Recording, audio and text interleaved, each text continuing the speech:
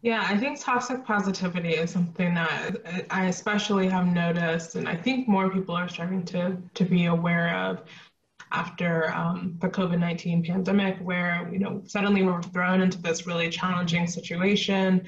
And, you know, the impulse for a lot of people was to be like, this is great. There's still a silver lining. you know, there's still lessons to be learned, which maybe there are. Um, but I think only focusing there really shuts down people being able to actually process and move through some of the difficulties or the, some of the challenges that they might be facing.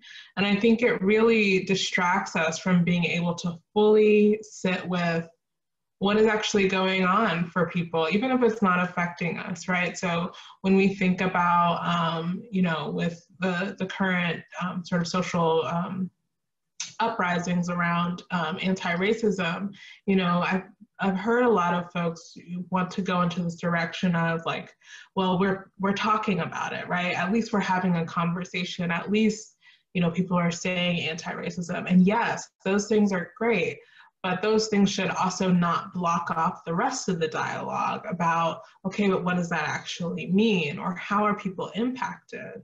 Um, I think around um, uh, you know, around ableism or around different kinds of um, identities that are thought to be like, oh my gosh, that's really challenging to, to go through that situation, there can be all of this emphasis on, well, how is it positive? How is it, how is it good? How is there a lesson? How is it inspirational? Or, you know, things like that. And, and again, it really just kind of passes us right over thinking about what are the actual impacts? What is the trauma that people might be sitting with?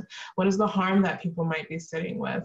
And so when we're in a dialogue, um, I think being able to just note for people or ask questions around like, what is really hard about this conversation? What's hard to accept? Because people usually when they go into toxic positivity, positivity, they're not trying to be toxic, right? They're just trying to to not have to deal with what might feel overwhelming. And so I think this is this is really really um, good to be able to challenge within yourself, but also to gently meet people where they're at. You know, I notice that this is hard for you. I notice that you know someone being angry or someone um, being really harmed around a certain identity. I know that that's hard to sit with. And can we sit with it, right? Can we figure out how we can have a conversation about this?